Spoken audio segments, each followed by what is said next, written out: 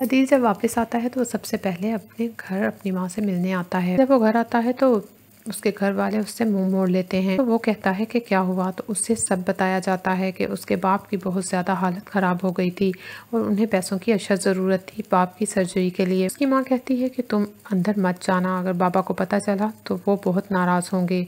अभी वो अपने कमरे में आराम कर रहे हैं। अदील कहता है, मैं उनका हाल तो पूछ सकता हूँ ना। अब वो कैसे हैं? उसकी माँ कहती है कि नहीं, तुम अंदर मत जाना। उनकी तबीयत ख़राब ना हो जाए, उनका बाईपास हुआ है और अब वो ठीक हैं। डॉक्टर ने परहेज और एहतियात बताया है। अदील कहता है, ये कैसे हो सकता है कि बाबा की ऐसी हालत हो और आप मुझे बताएँ ही ना? उसकी माँ कहती है कि मैंने तुम्हें कॉल की थी, लेकिन तुम्हारी कॉल रिसीव तो हुई थी, लेकिन कोई बोला नहीं। और फिर मैं कॉल्स करती रही तो तुम्हारा नंबर बंद मिलता रहा। अदील बहुत हैरान होता है। वो सोचता है कि ये कैसे हो सकता है। उसने तो अपना मोबाइल बंद नहीं किया था। उसकी माँ कहती है कि तुम्हारी जब हमें ज़रूरत थी तो दूसरी बार तुम दगा दे गए। तो अदील ने कहा, फिर ये सिचुएशन किसने संभाली और पैसे का अरेंज कहाँ से हुआ?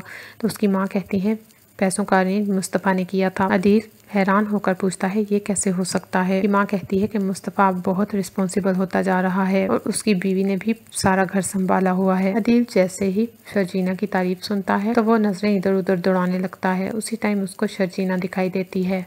वो कमरे में आ रही होती है और अपनी सास से बात करते करते पूछ रही होती है, अम्मी, आज क्या पकाऊं? लेकिन अदील को वहाँ देखकर वो एक बार फिर डिस्टर्ब होकर वहाँ से चली जाती है। अदील अपनी माँ का हाथ पकड़ लेता है और कहता है, अम्मी, मुझे बिल्कुल भी मालूम नहीं था कि अब्बा की हालत ख़राब है। हम हनीमून टूर पर गए थे, लेकिन अगर मुझे पता होता तो मैं वो कैंसिल करके वहाँ से वापस आ जाता। उसकी माँ कहती है, कोई बात नहीं, अब तो जो होना था हो गया, लेकिन तुम अभी अपने अब्बा के सामने ना जाना। अदील हाँ में सर हिला देता है।